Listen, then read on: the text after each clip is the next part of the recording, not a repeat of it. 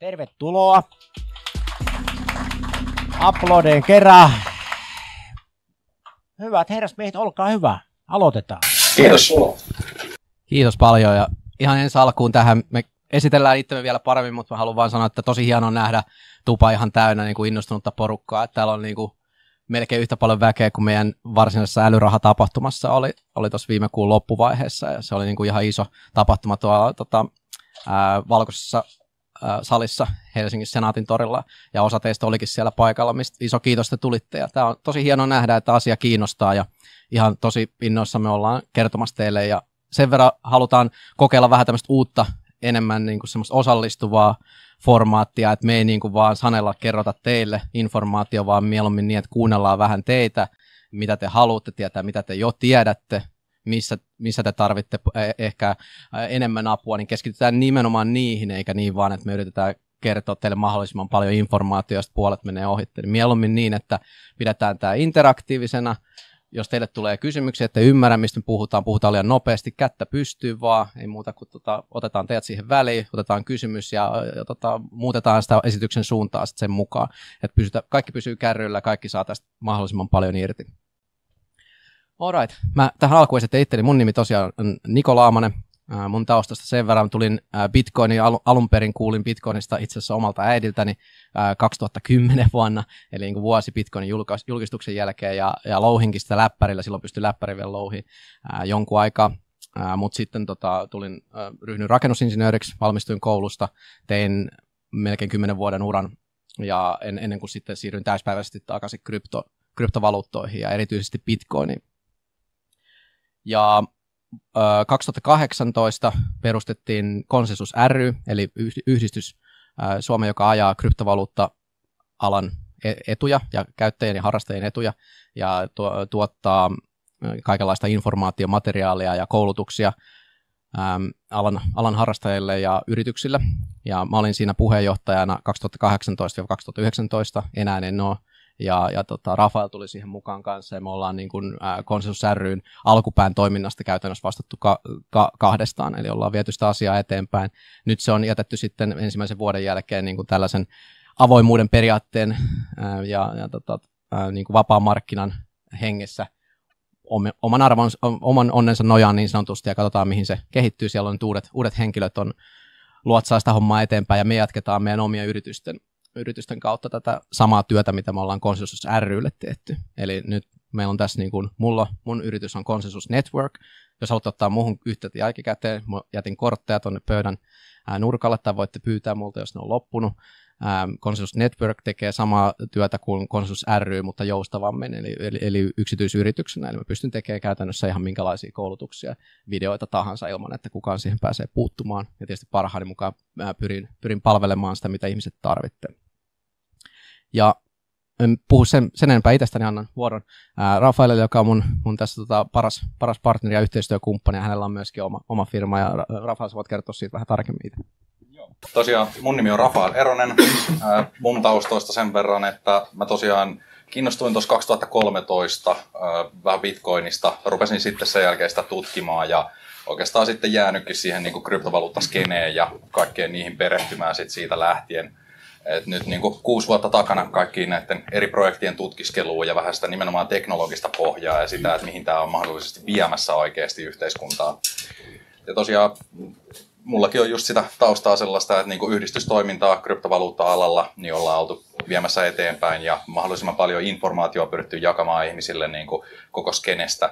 Ja just niin kuin Niko sanoikin kanssa, niin kysykää ihmeessä sitten kaikki mahdolliset teidän kysymykset, mitkä on askarruttanut, niin niihin olisi tarkoitus justiinsa, että me pyrittäisiin vastaamaan.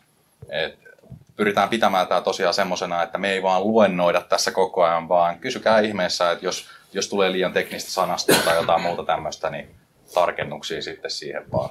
Niin tosiaan me ollaan hyvin, hyvin tietoisia siitä, että me puhutaan monesti ihan eri kieltä kuin niin sanotut normaalit ihmiset, mikä meille on niin kuin ihan päivänselviä juttuja. Pallotellaan niitä monta tuntia päivittäin tuo Telegramissa, niin teidän täytyy kertoa meille, koska me ei aina tiedosteta välttämättä sitä itse, että nyt meni vähän liian korkealentoiseksi tai käytetään liikaa lainasanoja, mitä ihmiset ei ymmärrä, niin ei muuta kuin homma poikki vaan siinä vaiheessa ja puhutaan, otetaan vähän takapakkia ja puhutaan niin, että kaikki ymmärtää. Ja sit, no, ihan vaikka aloitetaan ihan semmoisen niin yksinkertaisella vähän kartoituksella siitä, niin että mitä kaikkea te osaatte, että onko kuinka monella niin kuin IT-alan taustaa, että kuinka paljon on tietokoneiden kanssa tullut näppäiltyä, nostaa vaikka käden ylös. Okay. Muutama, joku 10 prosenttia ehkä. Ja tota, miten sitten ihan lohkoketju, sovelluksia tai jotain lompakko-ohjelmia, onko niitä tullut testattua? Okei. Okay. Huomattavasti vähemmän yksi käsi nousi vissiin. Mä näin ainakin vain yhden. Joo, okei. Okay.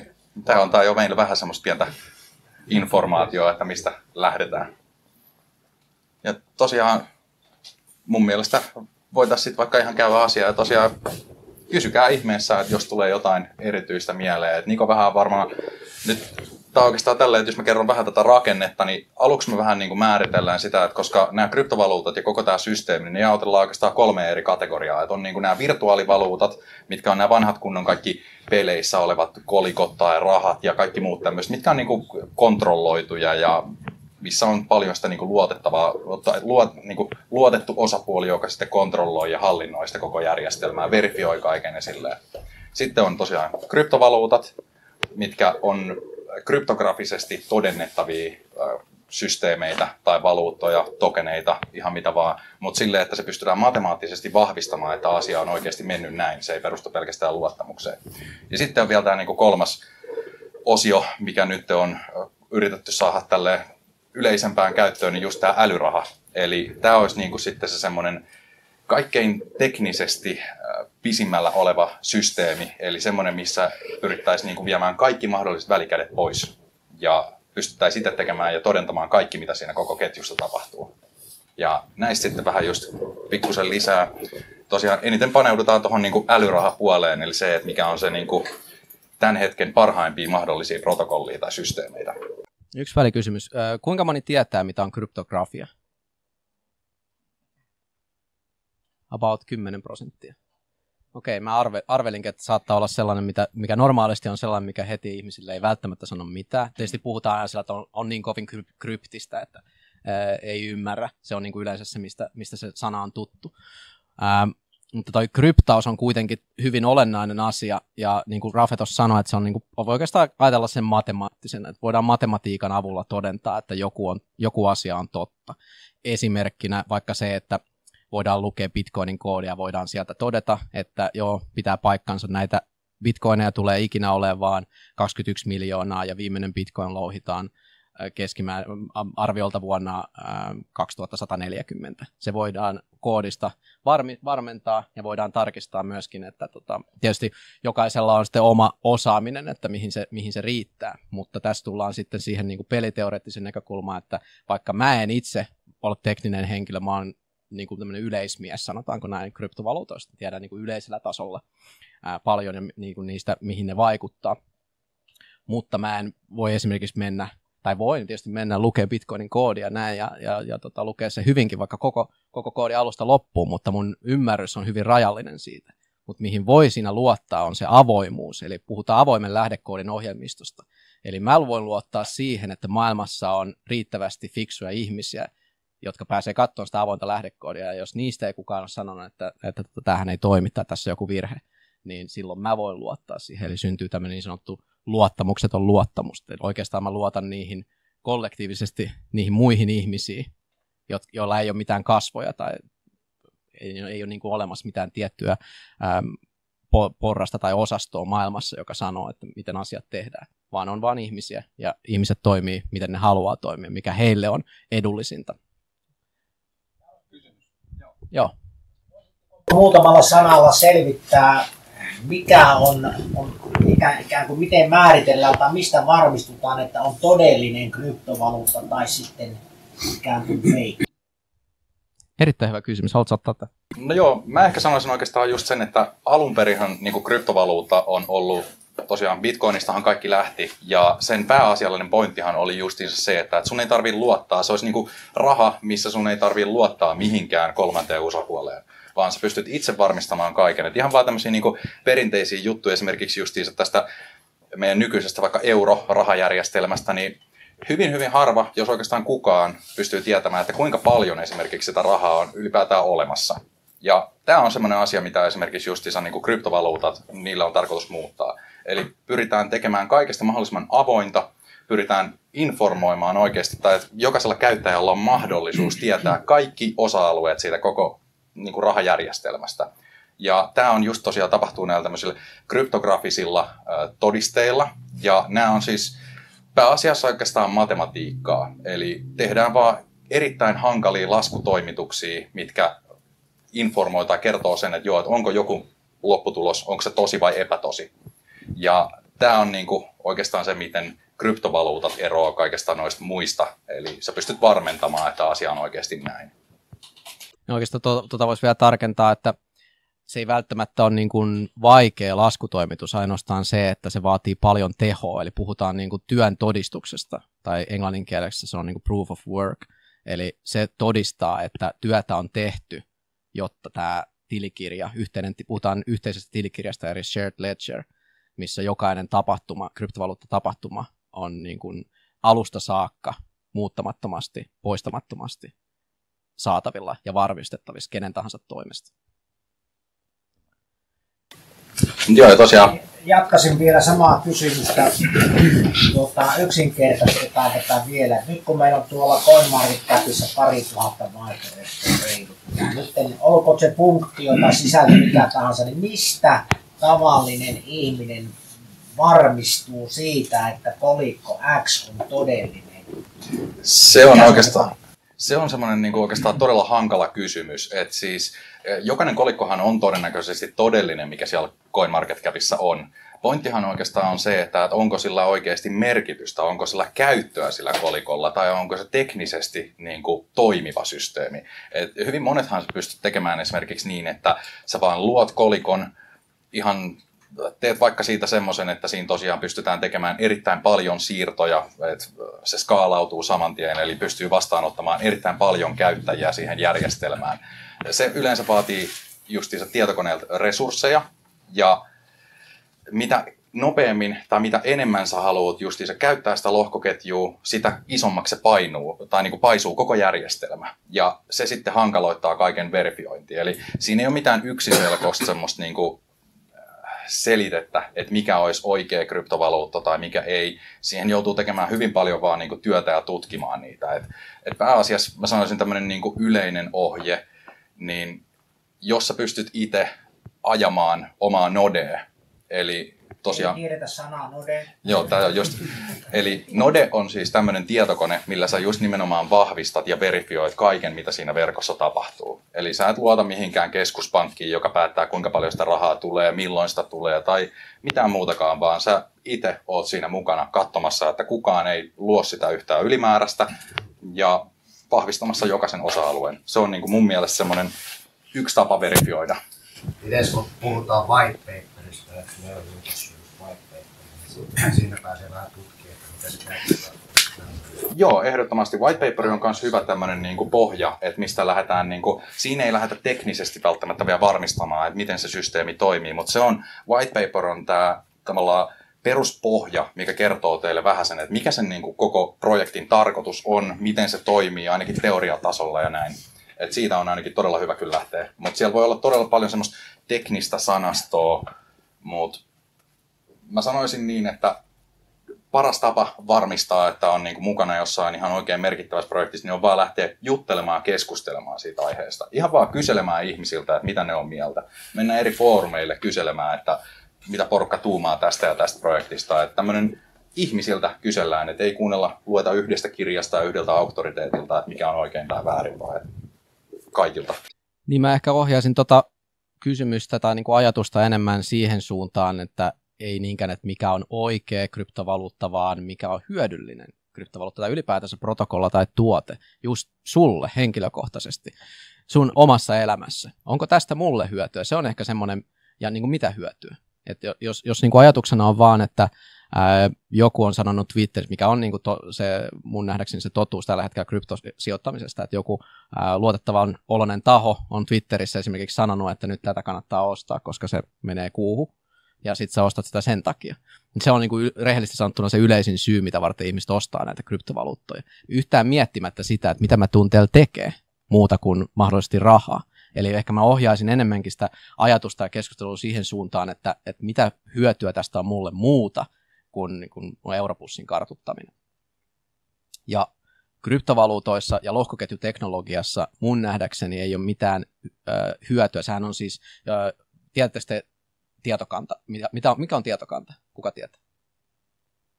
Aika, aika moni tietää. Okei, tietokanta on sellainen, ää, sanotaan vaikka pilvipalvelu. Varmaan aika monet käyttää pilvipalveluita. Että teillä on netissä tiedot ja sitten sieltä ne synkronoidaan teidän koneelle ja ne on vaikka puhelimessa sitten samat tiedot. Periaate on, periaate on siinä sama, mutta nämä tietokoneet on näitä just näitä nodeja tai solmuja, mitä eri, eri kryptovaluuttojen käyttäjät ajaa omalla koneellaan. Ja sitten nämä niin kuin, tämän lohkoketjun tai julkisen tilikirjan transaktiot koko ajan jatkuvasti synkronoidaan ja lähetetään näihin joka ikiseen solmuun tai nodeen.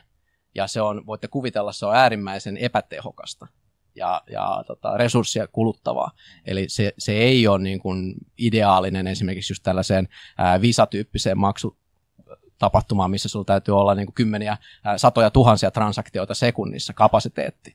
Esimerkiksi Bitcoin-transaktioiden kapasiteetti tällä hetkellä on luokkaa seitsemän transaktio sekunnissa muistaakseni, vai Taitaa olla neljä vai viisi transaktioa sekunnissa. Joo. Vertauta se johonkin. Esimerkiksi Visa, Visa taitaa tehdä silleen, että sillä on niin kuin ehkä jossain, olisiko ollut kymmenessä tuhannessa transaktiossa per sekunti. Eli siinä on huomattava ero. Bitcoinin verkko ei todellakaan kestä tällä hetkellä niin paljon kuin mitä esimerkiksi Visan transaktiot. Mutta se on just se tietotekninen niin kuin, vaihtokauppa, mikä on tehty. Eli se, että Visassa sä et pysty, kukaan meistä ei pysty tietämään, kuinka paljon siellä on rahaa järjestelmässä, miten ne liikkuu, kuka on, niin kuin, onko joku huijannut järjestelmää. Se on vaan täysin Visan kontrollissa. Se tarkoittaa siis, että kaikki käyttäjien datat menee vain ja ainoastaan Visalle. Kun sitten taas esimerkiksi justiinsa Bitcoinissa tai muissa tämmöisissä lohkoketjujärjestelmissä, niin kaikille ihmisille menee se tieto. Eli se on justiinsa tietoteknisesti todella resurssi niin kuin kallista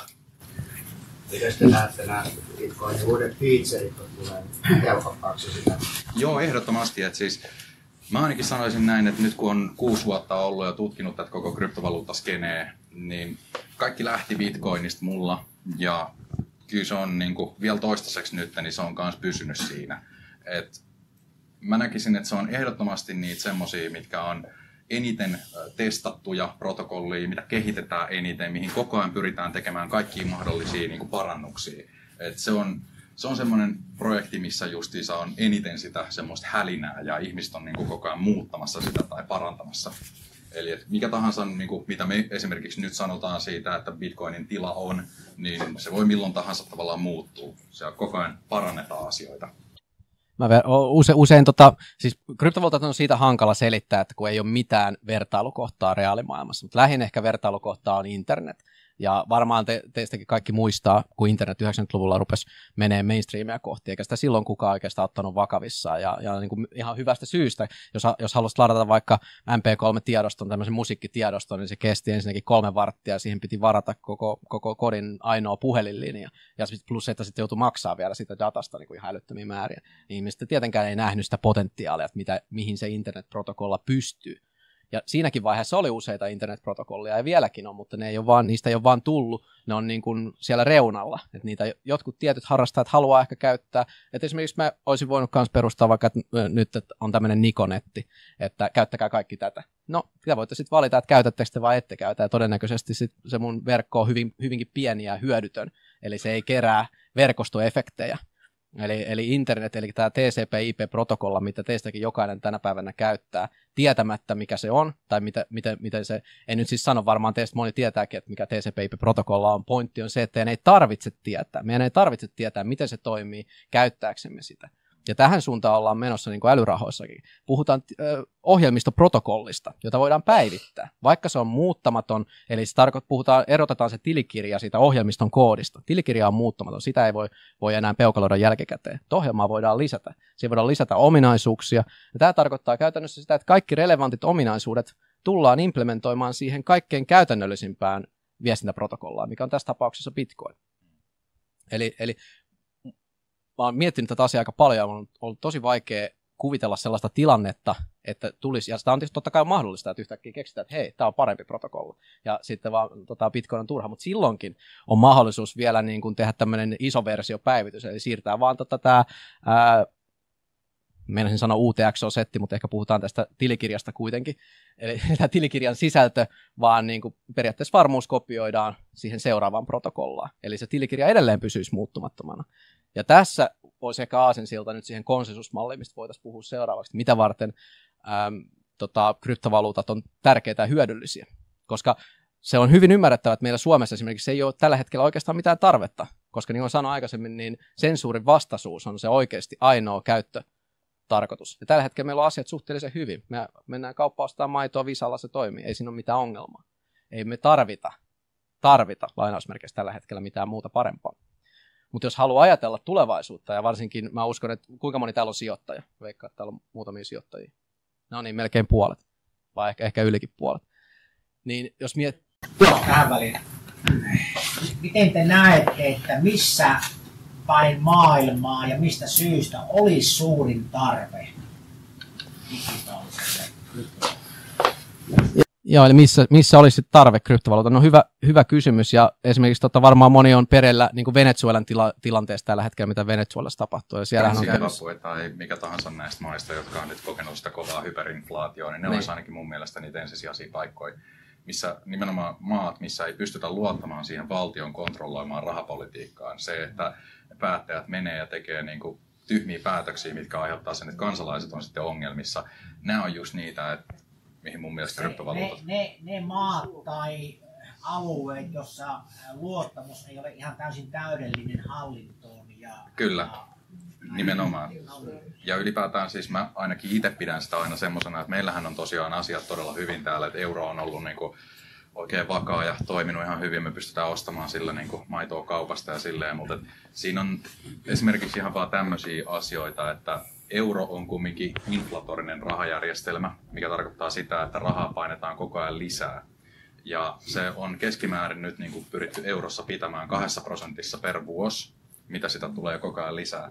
Ja jos nyt mietitään just nimenomaan sijoittajana, että sulla olisi ollut aikaisemmin vaikka ihan sama, että vaikka 10 000 euron potti silloin, kun otettiin eurot käyttöön, eli noin 20 vuotta sitten, niin sen jälkeen, kun on koko ajan joka vuosi painettu 2 prosenttia lisää, se tarkoittaa, että siihen on tullut uutta rahaa, on luotu noin 45 prosenttia tämän 20 vuoden aikana. Eli se on nakertanut siis sitten sitä, jos sä oot säilyttänyt sen 10 tonnia euroina, siitä on tippunut todella paljon ostovoimaa pois. 45 prosenttia sun niin kuin rahasta veke. Se on aika radikaali juttu. Ja tämä sitten taas ylipäätään on luonut semmoisen systeemin, että meidän, niin kuin meidän yhteiskunnassa niin on paljon järkevämpi tuhlata sitä rahaa ihan mihin vaan, kuin että sä säilyttäisit sen niin kuin euroina pankkitilillä. Koska ylipäätään se korkokin, mitä se pankit maksaa, niin se ei kata edes sitä inflaation määrää, mikä sieltä tulee. Ja no niin, nämä on niin kuin, näitä yksi tämmöinen syy, että millä mun mielestä jopa Suomessakin, niin meillä on tietyissä määrin kyllä ihan hyvä syy käyttää näitä kryptovaluuttoja. Että pystytään suojautumaan justiinsa tuommoiselta NS-piiloverotukselta.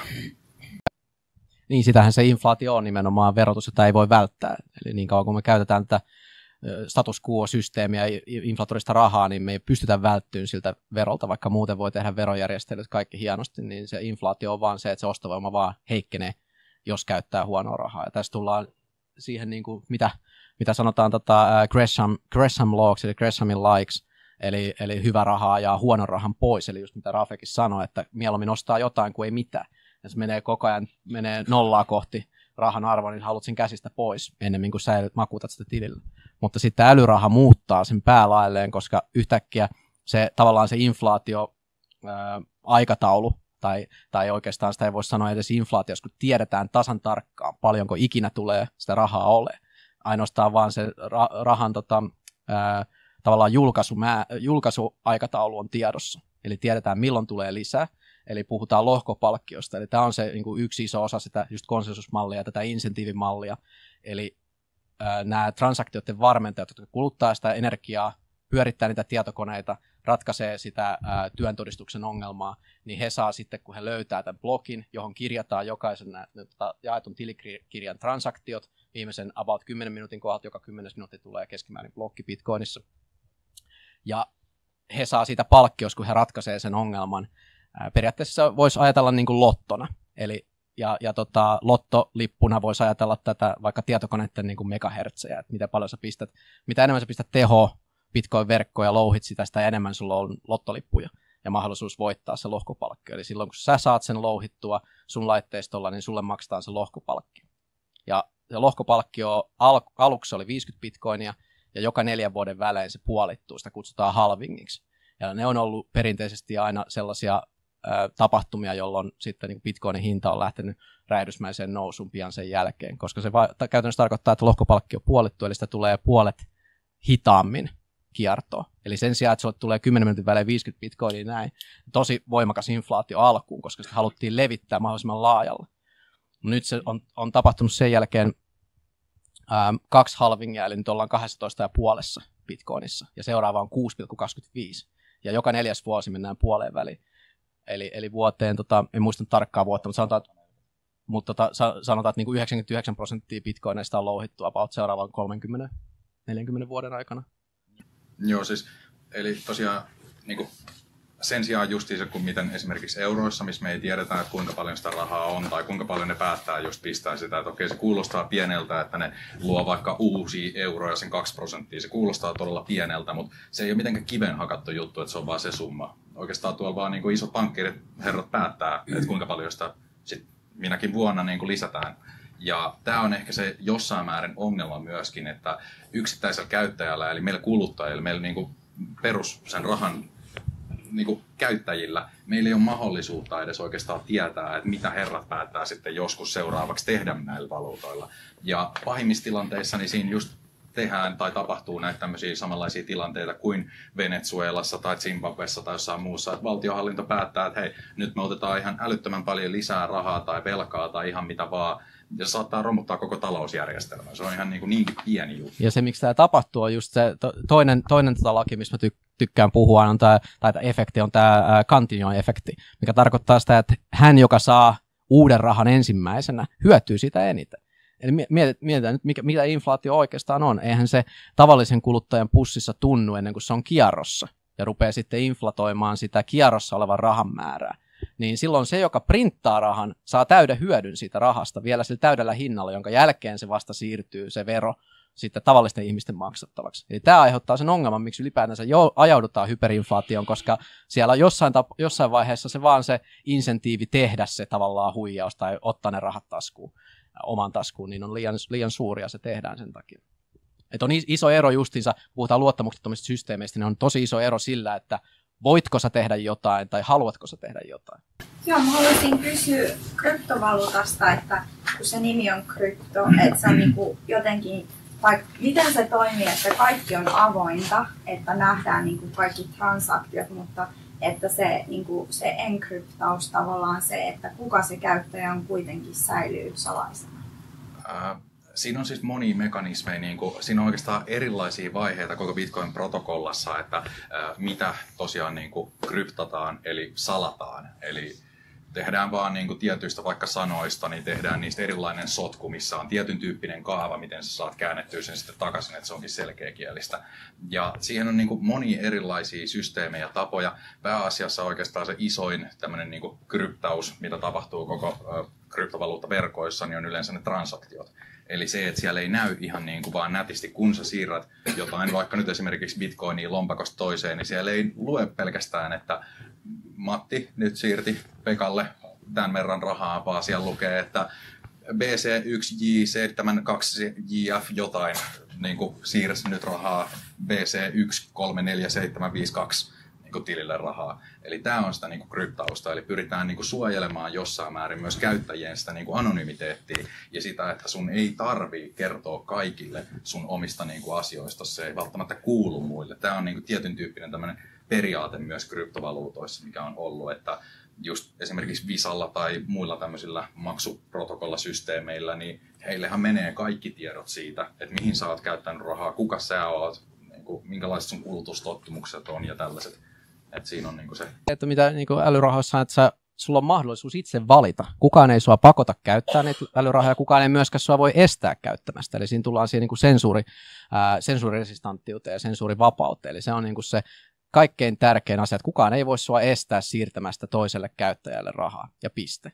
Se on niin kuin se arvonlupaus. Ja, ja tästä johtuen, mitä enemmän ää, valtiot ja keskuspankit laittaa kontrollia ja yrittää, yrittää estää ihmisiä ja, ja tota, tekee laittomaksi kryptovaluuttaa, sitä enemmän niillä on arvoa, koska ihmiset tarvii niitä. Ihmiset haluaa tehdä kahdenvälisiä transaktioita, mihin kukaan ei puutu. Ja tässä kohtaa mä oikaisin vielä ehkä tuon niin yleisen harhaluulan, että Bitcoin on anonyymi. Se ei tosiaan ole anonyymi, just niin kuin Rafe sanoi, että siellä on ne osoitteet. Ne transaktiot aina näkyy, että tästä osoitteesta on siirtynyt tähän osoitteeseen ja piste, se on aina tiedossa. Kysymys kuuluu, että oot sä sitonut siihen osoitteeseen mitään sun henkilökohtaisia tietoja. Esimerkiksi, jos sä oot mennyt pörssiin, antanut sen sun passin, ostanut sieltä bitcoinia, ja sitten sen jälkeen menet tota, jonnekin silkkitielle ja ostat vaikka huumeita niillä, niin se on huono idea koska sä oot sitonut sun henkilötiedot siihen kauppaan, jos sanotaan vaikka se huumekauppa jää kiinni, ja se on saanut transaktioita siitä sun pörssilompakosta, no sen takia niitä porukkaa jää kiinni sieltä silkkitieltä. Ja tässä vielä pitää oikeastaan... Anteeksi? Eli osoite tarkoittaa tavallaan lompakkoa. Joo, lompakko hallinnoi just nimenomaan näitä osoitteita. Hyvä, hyvä tarkennus. Ja tosiaan vielä semmoinen piti tuossa noin niin tuli mieleen, että Uh, mulle ei ole ainakaan nyt tällä hetkellä tiedossa uh, korkeintaan kuin ihan vaan niin kuin kourallinen maita, missä ylipäätään kryptovaluutat olisi oikeasti kielletty tai niin kuin, että siinä olisi jonkunlaista sanktioa siitä, että sä käytät. Ja ne maat on oikeastaan jotain mun mielestä niin kuin Nepal, ehkä vissi Intiassa taisi olla jonkunlainen juttu nyt tällä hetkellä meneillään. Ei miettii sitä, mutta se on niin kuin, että siellä on, siellä on ihan niin kuin pari-kolme maata, missä koko systeemi on kielletty oikeasti. Mikä, mikä on viimeisin tieto kun puhutaan regulaatiosta, tulevasta regulaatiosta, säätelystä, mihin suuntaan se näyttäisi menevän? Mun mielestä ainakin se vaikuttaa siltä, että pyritään niin kuin tekemään, tai regula, niin kuin regulaattorit tuntuvat haluavan niin kuin tehdä tavallaan kryptovaluutoista, pistää ne vähän samantyyppiseen lainsäädäntöön tai regulaatioon kuin vaikka esimerkiksi osakkeet. Eli nykyään on nyt tullut se, että sulla on mahdollisuus tosiaan niin kuin, verotuksessa on tällä hetkellä se tilanne, että kaikki voitot, mitä sä saat, sä joudut siitä maksamaan noin 30, pinnaa, 30 prosenttia voittoa, niin kuin veroa. No, mutta sitten taas, että kaikki mitä sä häviit, niin sä pystyt kumminkin vähentämään sitten tappiot myös verotuksessa. Eli siitä on tullut paljon reilumpi systeemi. Vastaa hyvin pitkälti justiinsa osakkeita. Ja mä sanoisin, että sen sijaan justiinsa, että mitä nyt kryptovaluutoissa on synnynnäisesti just toi, että ei sidota henkilöllisyyksiin niihin osoitteisiin tai lompakkoihin, niin tämä on se, mitä regulaattorit haluaisi tehdä. Eli se, että ihmiset joutuisi kertomaan, että mihin ne käyttää rahaa, milloin ne käyttää ja tälleen. Siihen on kumminkin, se on semmoinen niin kuin kamppailu tavallaan, mitä käydään aina pikkuhiljaa ja siis silleen, että mä ainakin uskoisin itse, että regulaattori, regulaattorit tosiaan liikkuu sen verran paljon hitaammin. Siinä, siinä on iso prosessi, että ne saa tehtyä tiettyjä sääntöjä, joten ne tulee aina vähän jäljessä. Eli siinä on tommosia, niin kuin, se on pientä taistelua tavallaan koko ajan. Mun nähdäkseni regulaattorit ostaa tällä hetkellä aikaa aika paljon, että se on sitä mediapeliä, yritetään pyörittää näitä vanhoja narratiiveja, että ihmiset ei niin kuin menisi ihan täysillä sisään siihen, mutta se tulee olemaan niin kuin häviävä peli, just niin kuin Rafe sanoi, niin ne liikkuu vaan täysin liian hitaasti, ja kryptovaluutat on auki 247, niin kuin pystyt tekemään transaktioita minne päin tahansa maailmaa niin kuin tunnissa, käytännössä ilmatteeksi, niin ei se, ei se niin kuin, ja kukaan ei pysty estämään sitä no mitä sä taistelet sellaista vastaan muuta kuin ideologisella tasolla. Tai sitten liittyy siihen, eli se on just se, mitä me haetaan tällä älyrahan narratiivilla, eli me keskustellaan myöskin justiinsa FIVAN ja muiden regulaatioiden kanssa, että, että hei, että tässä on niin kuin juttu teidänkin kannalta, että luuletteko tosiaan, että suurin osa ihmisistä haluaa ottaa henkilökohtaisen vastuun avaimista, että jos sä kirjoitat joku osoitteen väärin tai tota, kovipasteet väärän osoitteen, niin sä menetät sun rahat. Että sulla ei ole niin mitään keinoa mennä pankkiin ja sanoa, että hei, mä teen pikku virhe ei ole mitään sellaista Bitcoin-pankkia, vaan se on niin kuin, that's it. Sä vastaat itse. Ja mä väitän, että suurin osa ihmisistä ei ole valmiit ottaa sitä, eikä siinä ole mitään ongelmaa. Kysymys on siitä, että sulla on oma valinta, että sä voit tehdä sen. Sä voit myöskin huolehtia vaikka osasta sun portfoliosta täysin itse, ja osan siirtää kolmannen osapuolelle jonkun pankin tai tämmöisen äh, hallinnoijan, avainhallinnoijan alle ja portfolio vastaa tavallaan vähän niin kuin säästö- tai osakesalkku tässä tapauksessa. Eli sä voit itse päättää sen sijaan, kun esimerkiksi just nyt jossain niin kuin pörsseissä tai muissa, missä sitten vaihdellaan osakkeita, vaikka sä oot ostanut ne, niin ne on aina sen kumminkin se pörssin kontrollissa. Se, että kryptovaluutoissa sulla on mahdollisuus ottaa tavallaan se täysin itsellesi se sopimus tai se osakekirja tai ihan mikä tahansa. Silleen, että voit säilyttää sitä itse, jos sä pelkäät esimerkiksi, että tämä pörssi menee ja katoaa paikalta tai huijaakin, että sulla ei olekaan niitä papereita tai jotain muuta. Tähän, tähän liittyen justiinsa sen tota, regulaattoreita luulisi kiinnostavan se hyvin paljon, että meillä on tämmöinen muuttamaton, tuhoutumaton tilikirja, jossa joka ikinen transaktio on selvillä. Ja suuri osa ihmisistä laittaa ne kiltisti ne passitiedot sinne pörssiin ja, ja yhdistää henkilöllisyytensä siihen Bitcoin-osoitteeseen, jonka jälkeen joka ikinen transaktio, mitä he tekevät, on, on julkisia. Myöskin niin kuin julkishallinnon verottajalle. Ja, ja tota, mä luulen, että osa, aika iso osa ihmisistä on ok tämän järjestelyn kanssa. Se vaan niin kuin parantaa nykysysteemiä. Mietin vielä tuosta lohkoketjusta, että miten se käytännössä toimii, kun siihen, että toimiiko se netin välityksellä, että miten ne niin kuin kirjataan niin kuin fyysisesti? Öö, joo, siis miten se niin toimii tavallaan tuo protokolla? Siis erilaiset projektit käyttää vähän erilaisia systeemejä. Pääasiassahan kaikki niin kuin, noi kommunikaatio tehdään just internetin kautta, eli jokaisella käyttäjällä lähtökohtaisesti se ei ole mikään vaatimus, mutta se on ollut se, mistä lähdettiin. Eli jokainen käyttäjä pistää itselleen lataa semmoisen ohjelmiston omalle tietokoneelleen, käynnistää sen, ja se tekee automaattisesti, rupeaa yhdistämään muihin tietokoneisiin, jotka ajaa tätä samaa ohjelmaa. Ja niillä on kaikilla niin kuin yhdet tietyt samat säännöt. Jos joku menee ja yrittää muuttaa niitä sääntöjä, niin se tavallaan kaikki muut tietokoneet, jotka ajaa sitä vanhaa ohjelmistoa, ne hylkää sen. Ne niin kuin potkii sen pois. Tämä on se, miten niin kuin varmistetaan. Tavallaan jokainen tietokone on yhteydessä ainakin kahdeksaan muuhun tietokoneeseen ja kaikki tavallaan vahvistaa niitä samoja sääntöjä. Jos joku yrittää huijata, niin se lähtee saman tien verkosta pois. Ja niitä on mahdollisuuksia tehdä noita kaikkia siirtoja ja ylläpitää sitä ketjua. Esimerkiksi justiinsa ihan äh, niin kuin radioaalloilla on mahdollisuus, mahdollisuuksia tehdä noita siirtoja. Satelliitin kautta on nykyäänkin mahdollista tehdä siirtoja niin kuin bitcoinilla. Et eri projektit on eri vaiheissa ja tekee vähän erilaisia juttuja. Mutta... Eli niin, siis just totta kai ehdottomasti kännykän niin kuin internetillä ja tuommoisella. internetti on kaikista yleisin, että jos lohkoketju tulee niin kuin kaikkeen sanotaan esineisiin, niin tarvit, pitäisikö niissä esineissä olla netti tai joku? Hyvin, hyvin usein joo, se pitäisi olla silleen, että siinä on niin kuin jonkunlainen yhteys nettiin. Se ei välttämättä tarkoita, niin kuin, että se pitäisi olla koko ajan.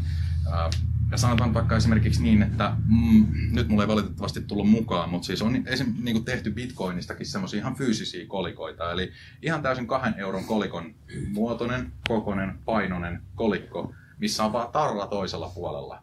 Ja sen tarran alla on tämä tämmöinen koodipätkä, mikä justiinsa antaa sulle luvan sitten siirtää niitä tiettyjä bitcoineja. Se antaa tavallaan kontrollin sulle siihen tiettyyn lompakkoon. Tämä tarkoittaa silloin, että se kolikko, sen ei ole pakko olla millään tavalla netissä kiinni. Se on ihan vaan metallin palanen, missä on niin kuin paperille kirjoitettu koodipätkä. Ja tämä on niin kuin se, että sä pystyt ottamaan kyllä tai käyttämään tai säilymään justiinsa niitä kryptovaluuttoja ilman, että ne on netissä koko ajan kiinni. Mutta heti kun sä haluat liikuttaa tai tehdä sillä jotain, niin sit sun pitää päästä sinne verkkoon keskustelemaan. Joo, holdaaminen ei, ei vaadi nettiä, mutta kuluttaminen vaatii käytännössä tällä hetkellä. Tai sitten jonkun muun vastaava viestintäprotokolla. Esimerkiksi yksi tuote kanssa, mitä mainitsin noista fyysisistä bitcoinista, oli ihan hyvä, niin tämmöinen kuin Open Dime, mikä on niin kuin USB-tikun näköinen. Ja tota, siinä voi laittaa, saat, saat sen tietokoneeseen, saat sieltä tulee bitcoin-osoite, lähetät sinne bitcoin-osoitteeseen sun bitcoinit, sitten ne on siinä tikulla. Ja se avain on, se ei, ei tule koskaan julkiseksi, eli se on, sun pitää fyysisesti neulalla, neula työntää läpi siitä USB-tikusta, siinä on semmoinen kohta, joka sitten pysyvästi tavallaan rikkoo sen ja paljastaa sen priva-avaimen, kun sä haluat kuluttaa sen. Mutta sä voit vaihtaa sen, esimerkiksi sanotaan vaikka, että sulla on 0,1 bitcoin, mikä tämän hetken kurssilla olisi tonni, ja sä ostat sillä jotain, niin sä voit antaa sen niitä muistitikuja, ei tarvitse tehdä mitään nettitransaktio, vaan fyysinen transaktio. Eli just sama juttu niin kuin kolikoilla, että, että, että tämmöinen transaktio tai kynä ja paperi, paperilompakon, tietysti paperilompakon sisällön varmentaminen vaatii netin tai jonkunnäköisen yhteyden lohkoketjuun, että sä voit katsoa, että okei, tämä osoite oikein, tai tämä avain oikeasti hallinnoi näitä varoja, ää, mihin, mihin mä oon nyt vaihtamassa vaikka tätä mun autoa tai jotain esimerkiksi.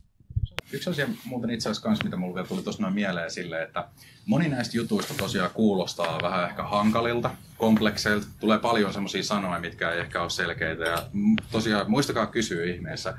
Ja itse miten mä näen tämän silleen, että kuten Nikokin tuossa noin puhui aikaisemmin, että silloin kun internet tuli, niin se oli aika vaivalloista ruveta käyttämään sitä. Ihan vaan se, että sä sait lähetettyä sähköpostin, niin ei muuta kuin sitten, että sun pitää ottaa yhteydet näihin ja näihin servereihin. Ja tyyli se sähköpostin lähettäminenkin, vaikka sä sait sen menemään, niin siinä kesti joku kaksi-kolme päivää ennen kuin se vastaanottaja oikeasti sai sen. Se oli niin, niin, niin kuin alkutekijöissään. Mutta nimenomaan se oli silloin kaiken maailman eri teknisiä juttuja sun piti ymmärtää ennen kuin sä pystyit lähettämään sen sähköpostin, mutta toi on justiinsa se, että ihmiset on koko ajan parantamassa, tekemässä töitä ton koko projektin niin kuin ohella, pyrkii tekemään siitä mahdollisimman helppoa. Siitä, kun niin kuin sähköposti ja internet tuli, siitä joku 20 vuotta eteenpäin, niin se sähköpostin lähettäminen olikin ihan vaan... Mä voisin sanoa, että me, me, ollaan, vielä, me ollaan oikeastaan niinkin pioneerivaiheessa mun mielestä, että, että tota se helppokäyttöisyys on vielä toissijainen. Nyt pyritään niin kuin vielä rakentamaan siitä pohjaprotokollasta mahdollisimman tämmöinen niin kuin antihauras ja tämmöinen, joka kestää hyökkäystä. Eli se niin kuin koko älyraha-ideologia on, että olet koko ajan hyökkäyksen alla. Ei luoteta mihinkään, vaan lähtökohtaisesti jokaista nodea tai solmua kohdellaan hyökkääjänä. Eli tämmöisenä niin kuin huonona toimijana verkossa. Niin, eli just niin kuin sanoin siitä aikaisemmin, eli kun ne kaikki tietokoneet on kytkettynä about kahdeksaan muuhun tietokoneeseen, jotka ajaa niitä samoja ohjelmia. Se siinä just on, että kukaan ei luota toisiinsa. Ne pitää toisiaan ns. Niin kuin vihollisena ja varmistaa joka ikisen jutun, että kai tämä nyt toimi oikein. Ja tämä, niin kuin, tämä aiheuttaa sen, että Bitcoinin systeemi esimerkiksi niin se on niin varma. Siinä ei ole mitään semmoista, että jollakin on mahdollisuus tehdä jotain enemmän kuin mitä sulla on. Kaikki käyttäjät on tasa- tai samanarvoisia. Joo. Miten, miten näette tämmöisen älyrahan kehittymisen? Oletteko te sitä mieltä, että onko se aikajänne mikä, tai sitä näinpä, että mikä, mikä olisi mahdollinen aikajänne sille, kun tavallaan nämä kehittyvät asiat luo markkinoille sellaisen tilanteen, että fyysinen raha niin häviää pois? Näettekö te sellaisen tulevaisuuden? Mä ehkä sanoisin silleen, että ää, moni, monet niin ajattelee tosiaan, että kryptovaluutat tulee täysin syrjäyttämään sitten mahdollisesti nämä niin kuin eurot ja dollarit ja tämmöiset niin kuin valtiolliset valuutat sitten joskus. Voi tosiaan olla niin, mutta mä oletan ainakin, että siinä menee todella pitkä aika. Et ne, joilla on tosiaan se tämän hetken systeemi kontrollissaan, ne ei tule halua päästää siitä vallasta todellakaan helposti irti. Ne pyrkii varmasti tekemään kaikkensa, jotta ne saa pidettyä sen saman niin kuin kontrollin, sen vallan, mitä heillä on. Joten mä uskoisin ainakin, että 20 vuodenkin päästä niin me löydetään vielä euroja ja dollareita, jos ei muuta, niin ainakin museoista tai keräilyesineinä sitten. Miten ne ruotsalaiset Nämä, mitä tarkoitat tarkalleen? kolmias luopuu kerran käteisistä. Aa, joo. Tämä on itse asiassa yksi juttu kans siis silleen, mitä ihmiset menee kans, niin kuin, kun aikaisemmin puhuttiin siitä, että Suomessa ei välttämättä tarvita niin paljon kryptovaluuttoja, mutta siinä kohtaa mä oon vähän sen eri mieltä, että asia, mikä ei tule kovin helposti mieleen, niin nytkin meidän koko Suomen valtion kaikki tuommoinen niin kaupankäynti, maksuliikenne oikeastaan, se, että kun me mennään kauppoihin tonne, nyt vielä toistaiseksi meillä on käteistä, mutta sekin on tarkoitus poistaa kokonaan Suomesta mun muistaakseni 2040 mennessä. Ja se sitten taas tulee luomaan aika isoja ongelmia, jos asiat pysyy tällaisena. Tällä hetkellä, kun me mennään tuonne kauppaan, jos ei meillä olisi käteistä maksuvaihtoehtona, niin mitä meillä on? Visa ja Mastercard. Ne on oikeastaan ainoat. Kaksi jenkkiläläistä yritystä, jotka kontrolloi ja pitää tämmöistä niin kuin oligopolia koko meidän maksuliikenteestä. Se mun mielestä kuulostaa todella pahalta. Ja tämä olisi semmoinen, että mieluummin mun mielestä meidän pitäisi keksiä tuohon jotain erittäin niin kuin, nopeasti jotain parannuskeinoja, koska hyvin useinkin on käynyt niitä tilanteita, että Visan tai Mastercardin palvelut ei, ole, ei toimikaan. Sä jäätkin siihen, niin kun yrität maksaa kaupassa siellä kortilla, niin jaa, tämä onkin nyt pois päältä. No, sitten ihmetellään. Yleensä nyt ollaan vielä pystytty tosiaan turvautumaan siihen käteiseen, äkkiä automaatille, mutta jos se vaihtoehto poistetaan, niin mihin tämä menee? Ja tosiaan kaikki meidän tiedot, se on mun mielestä se ehkä omituisin asia kaikkien meidän tiedot, kaikki mitä me ostetaan ja maksetaan sillä Visalla ja Mastercardilla, se menee niille jenkkiyrityksille. Tämä on mun mielestä jossain määrin vähän pelottavakin juttu. No itse Visa ja Mastercard ja PayPalkin on kuolemassa, kun tuli Libracoin. Voidaan varmaan siitä, pitäisikö me pitää tauko tässä välissä, puhua ehkä Libracoinista sen jälkeen vai vieläkö?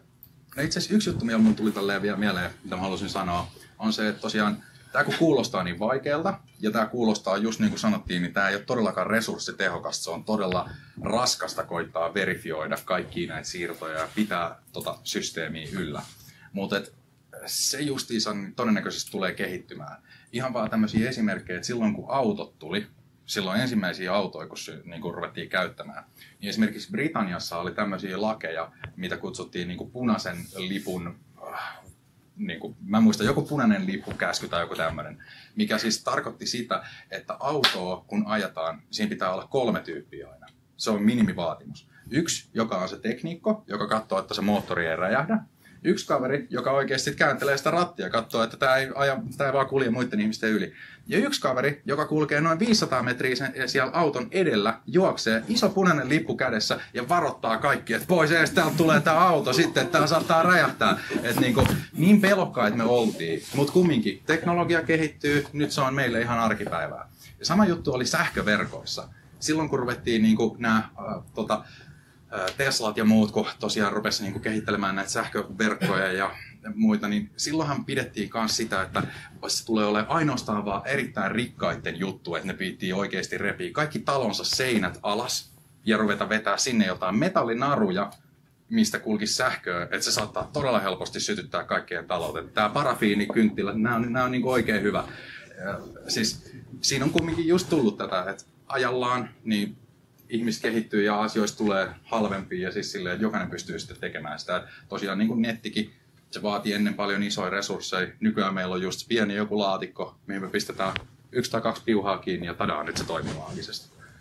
Niin, nyky- nykypäivänähän toi niin auton vertauksessa, niin vähän kun puhutaan sitä, että ei bitcoin, mutta lohkoketju on hyvä, niin se on vähän just sama kuin silloin autoaikaan, niin että, joo, että ei toi automobiili itsessään, mutta noin kumirenkaat, ne on, ne on tosi kätevät. Että ne voidaan ottaa, ne on niinku se todellinen killer app. Niin, että siis pidettiin nimenomaan niinku moottoria erittäin huonona keksintönä, koska siihen menee bensaa ja se saastuttaa, haisee pahalle ja voi räjähtää. Silloin pidettiin just nimenomaan, niin kuin, että, joo, että hei, ilmatäytetyt renkaat kumilla. Tämä on, niin, tämä on se iso juttu. Ja joo, on se osa kyllä kans sitä, mutta niin kuin, että siitähän tuli näitä tämmöisiä vaihtoehtoja, että jotkut halusivat vielä tehdä näitä välimalleja, eli ne rakens auton muuten, mutta otti siitä moottorin pois ja iski sinne hevosen.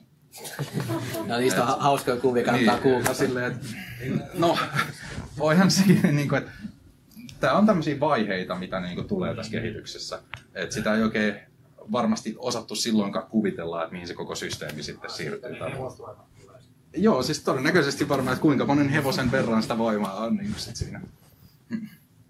Mutta joo, tosiaan, haluatteko pitää taukoa?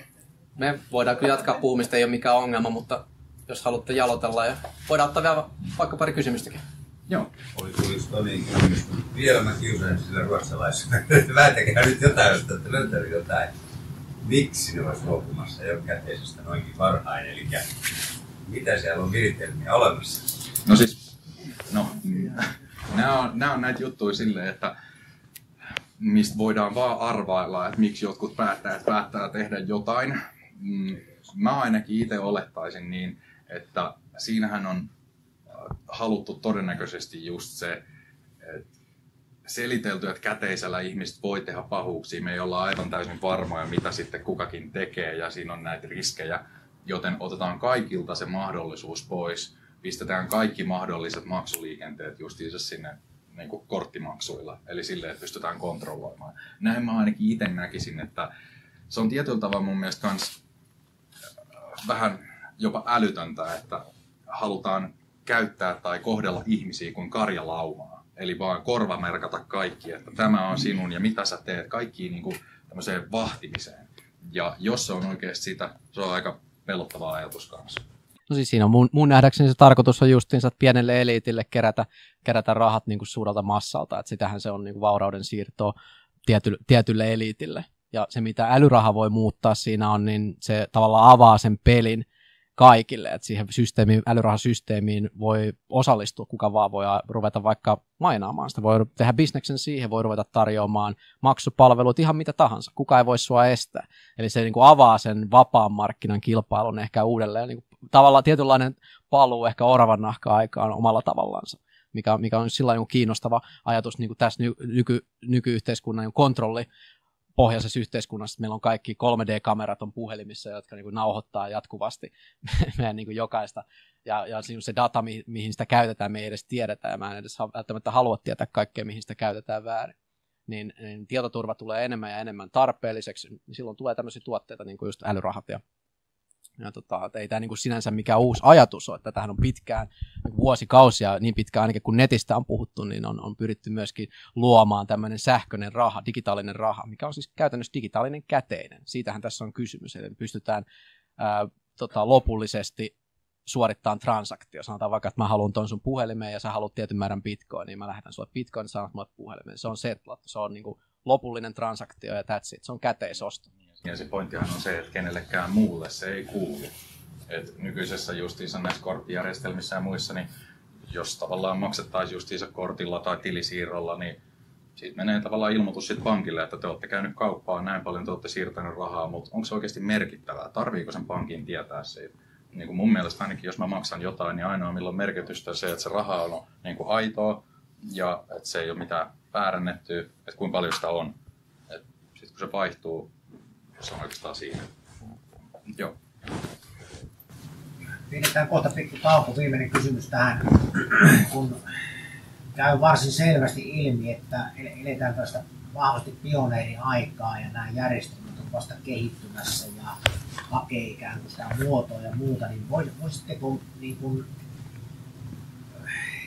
muotoilla oman käsityksenne siitä, että minkälainen tämä älyraha kuin, mikä se kliimaksi olisi siellä loppujen lopuksi, minkälainen sen älyrahan, mi, mi, mi, tai siis mihin se pitäisi kehittyä, jotta se olisi sen näköinen kuin teidän mielestä se Mikä on se ikään kuin se... Mm. Mä sanoisin oikeastaan silleen, että se mitä mä odotan, nämä on näitä tämmöisiä niin kuin, tavallaan alitajuisia motivaattoreita, mitä meille tulee myös tietyistä niin kuin valuuttajärjestelmistä. Et just niin kuin aikaisemmin puhuttiin tuossa noin, niin tämä eurot ja muut, ne tosiaan koko ajan menettää enemmän ja enemmän arvoa, joten se kannustaa siihen, että sun on hyvä vaan tuhlata. Ja se sitten myös on johtanut semmoisiin asioihin, että niin kuin yritykset tuottaa semmoisia tuotteita, mitkä hajoaa. Koska pointti on saada sitä kulutusta. Koko ajan niin kuin rahan pitää liikkua, koko ajan meille pitää tulla myös lisää uutta rahaa, sitä pitää painaa lisää, jotta meidän taloussysteemi, niin kuin koko eurojärjestelmä toimii. Jos sitä ei luotaisi lisää, niin se vaan tarkoittaisi sitä, että kaikki ne rahat, mitä meillä on, siirtyy loppujen lopuksi sinne eliitille ja meille ei jää mitään. Mutta tämä muutos, mikä sitten tulisi mahdollisesti just älyrahasta ja semmoisesta järjestelmässä, missä ei pystyisi ihan vaan joku kolmas osapuoli päättämään, että nyt luodaan lisää rahaa ja sun arvo menettää niin kuin arvonsa, olisi just se, että sä pystyisit, se kannustaisi säästämään. Eli sun ei tarvitsisi niin olla tunkemassa niitä rahoja johonkin, jotta sä saat pidettyä sen saman niin kuin ostovoiman just 20 vuoden päähän, vaan jos sitä rahaa ei tule lisää, niin se koko ajan kasvattaa arvoaan. Sillä tulee olemaan enemmän ja enemmän ostovoimaa sillä samalla yksiköllä tai samalla määrällä. Ja se sitten taas niin kuin, se on huomattavan iso muutos siihen, että nyt kun me halutaan koko ajan tuhlata ja pitää kuluttaa, niin me halutaankin sitten säästää, koska joka kerta, kun mitä pitempään me odotetaan sitä rahan niin kuin, tuhlaamisesta, niin sitä enemmän me pystytään sillä ostamaan. Nämä on niin kuin, tämmöisiä isoja kannustimia, mitkä vaikuttaa myös siihen, että esimerkiksi jälkipolville pystytään niin kuin, tai halutaankin paljon enemmän sit, niin kuin harkita sitä, että miten säästellään ja se ei ole, sanotaanko vaikka nyt, että jos haluat pistää lapsille jonkun tämmöisen säästötilin, ja jos sä kerrotat sitä nyt vaikka 20 vuotta, niin se ei ehkä ole ihan se optimaalinen tapa. Että siinä ei ole tullut, vaikka pankki antaa sulle jotain pientä korkoprosenttia siitä, sille ei saa todennäköisesti sitä samaa taloa, jossa aloitat just vaikka tänään säästämään, niin 20 vuoden päästä sillä samalla rahalla ei saa sitä samaa taloa. Se on vaan kalliimpi koko ajan. Ja nämä on niinku niitä eroja. Sitten taas älyrahan kanssa niin se sama raha, mitä sä nyt pistät jemmaa, niin sä saat todennäköisesti kaksi taloa sillä samalla rahalla sit joskus 20 vuoden päästä. Joo, mä ajattelin, mä kirjoitan tähän valmiiksi jo seuraavan, seuraavan tota, session topikkeja vähän, ja mä ajattelin, että tässä tuli niin sopiva aasinsilta tuohon aikapreferenssiin ja ää, luja raha, mistä mä haluaisin ainakin vielä vähän keskustella ja just se, että miten se muuttaa meidän niin kuin arvopohjaa tulevaisuudessa, erityisesti ää, tulevaisuutta, mitä pitäisi miettiä ehkä niin kuin milleniaaleja ja nuorempien ehdolla, että me niin kuin, vanhempi polvi, X-sukupolvi ja, ja tota baby boomerit ja vanhemmat niin on, on siirtymässä selkeästi taka-alalle. Ja niin kuin ehkä meidän sukupolvi ja siitä nuorempi on ottamassa enemmän ää, valtaa. Ja mitä niin kuin digitaalinen niukkuus tarkoittaa heille, puhutaan vähän siitä, puhutaan just luja, lujasta rahasta ja aikapreferenssistä ja mitä, mitä niin kuin tulevaisuudessa ää, tästä voisi tarkoittaa, minkälaisessa maailmassa voitaisiin elää. Vielä sen verran tuon äskeisen kysymyksen, miten te näette, että tämän älyrahan käytettävyys paranee tai kehittyy seuraavien? Mä sanoisin, tai mä oletan kyllä, että ää, eri projektit tosiaan varmaan joutuu käymään erilaisia reittejä ja niillä menee eri aika päästä siihen omaan tavoitteeseensa. Just tosiaan, nyt kun Bitcoin toimii kaikkein helpoiten, niin kuin aina esimerkkinä ihmiset tuntee sen jo, niin siitä on helpoita puhua. Mä ainakin olettaisin, että Bitcoinin kehitys on nyt tälläkin hetkellä ollut niin kovaa tahtia, että mä sanoisin, että viiden vuoden päästä varmasti meillä on semmoinen erittäin niin kuin käyttäjäystävälliset kaikki lompakot ja muut. Että sitten se voisi olla semmoista, että kaksi kolme klikkausta ja joku pyyhkäisy ja that's it. Niin, kuin, Sillä voi ostaa maitoa. niin, esimerkiksi. Todennäköisesti siihen ei tarvi edes sitä pari kolmea pyyhkäisyä, että sit se on vaan ihan silleen, että sä pyöräytät jotain omaa puhelinta siinä maksupäätteellä tai jossain muualla. Et nytkin se on mahdollista, todellakin, mutta nyt siihen vielä on tarvittu kolmansia osapuolia, esimerkiksi joku yritys, mikä sitten niin kuin vaihtaa tai tekee näitä konvertointeja. Et tälläkin hetkellä mä voin mennä tuonne K-kauppaan vaikka ostaa sieltä maitoa bitcoineilla. Ne ei itse sitä hyväksy, mutta on kolman, niin kuin on yritys, joka toimii siinä välissä. Eli mä saan sen yrityksen kortin, mä lataan sinne bitcoineja, höylään sitä kaupassa, se yritys vaihtaa siinä ne mun bitcoinit euroiksi ja maksaa sille kauppiaalle. Mutta tämä, kun pystytään tekemään ilman sitä kolmatta osapuolta, niin sitten me ollaan jo todella pitkällä. Tuossa on monta, monta sellaista kohtaa, mitä ei ole vielä ratkaistu, just pääasiassa skaalausongelmia, että mikä, mikään älyrahaverkko ei skaalaudu globaaliin niin kuin Visa-maiseen tai PayPal-maiseen käyttöön, vaan se vaatii jotain just ki- kikkailua tai kolmansia osapuolia. Ja nyt on esimerkiksi niin kuin Bitcoinissa on tämä Lightning Network on sellainen, ää, mikä tulee muuttaa aika paljon ja se oikeasti muu- tekee ää, Bitcoinista käte- käteistä, eli puhutaan niin kuin miljoonien transaktioiden sekuntivauhdista, eli Visa ja Masterikin jää niin kuin huomattavasti taakse siitä, mutta tällä hetkellä ollaan siinä tilanteessa, että mä oon nyt viimeiset kolme, neljä kuukautta yrittänyt saada sitä Lightning tota, wallettia toimimaan, mä en vieläkään sano sitä toimia, se on liian vaikea mulle. Mutta se on väistämätön, ihan samalla tavalla kuin en, en mä niinku tota, osaa koodata myöskään. Sama juttu netissä oli paljon joutuvaa opettelemaan hakkaan päätä seinään ja odottaa kärsivällisesti. Se on ehkä se vaikein osuus. Siis se just on, että mitä puhuttiin kanssa tosi aikaisemmin justiinsa, että Bitcoin tällä hetkellä skaalautuu siihen, niin kuin, että neljä transaktioa sekunnissa, mutta tarkoitus on siihen silleen, että se on niin kuin se ensimmäinen kerros, se on se kaikkein varmin kerros, missä kaikki verifioidaan. Mutta sitten siihen on tarkoitus justiinsa, että pystytään luomaan tämmöisiä uudenlaisia kerroksia, missä on sitten erilaiset niin vaihtoehdot otettu käyttöön. Että se, se vaikka pystyykin tekemään tuhat transaktiota per sekunti, mutta sä et verifioikaan sitä ihan niin paljon. Siinä tulee olemaan monia tämmöisiä niin erilaisia trade-offeja. Ja jokainen, se, siinä tulee olemaan hieno juttu, että jokainen käyttäjä saa itse päättää, mitkä vaihtoehdot ottaa. Mikä on niin kuin omasta mielestä semmoisen niin tärkeä, onko se merkittävää, että se siirto siirtyy nopeasti vai halvalla vai mikä tahansa. Se, toi, toi. Siis ei poikkea periaatteessa nykytilanteesta mitenkään, että, että, että todennäköisesti tämä nahkalompakkoon työnnä koko niin kuin omaisuutta, niin kun lähdette ulos vaan sinne menee tietty määrä, mitä kuvittelette käyttävän. Niin sama juttu sitten just joku Lightning tai Bitcoin älyrahalompakko, niin siellä on sitten sen verran rahaa, mikä nyt ei haittaa, että jos sinne tulee joku bugi tai, tai tota se palveluntarjoaja hakkeroidaan ja se menetät sen 200 euroa. No okei, harmittaa, mutta, mutta tota, se on sama harmitus kuin että sun nahkalompsa hukkuu ja sun menee käteistä siellä. Mm. Eli se on just se, että sä itse päätät, että siellä sun niinku perus perusleijerin pankissa, eli siis älyrahapankissa, missä sä hallinnoit niitä avaimia. Niin sä voit sieltä siirtää esimerkiksi vaikka kerran viikosta, kerran kuukausi, ihan milloin vaan, niin rahaa sinne sun tavallaan nahka älylompakkoon, mistä sitten käyttelet. Ja siellä on nopea transaktio. Hmm. Että et sä tarvit, niin kun sä siirrät omasta säästötililtä sun käyttelytilille, niin tarvitset niin instant välittömän siirron siihen et vaan yleensä sä voit odottaa jopa useamman päivän, jos vähän suunnittelet etukäteen. Se niin muuttaa sitä asiointia paljon ja just nimenomaan tuo vaihtoehtoja sulle käyttäjälle.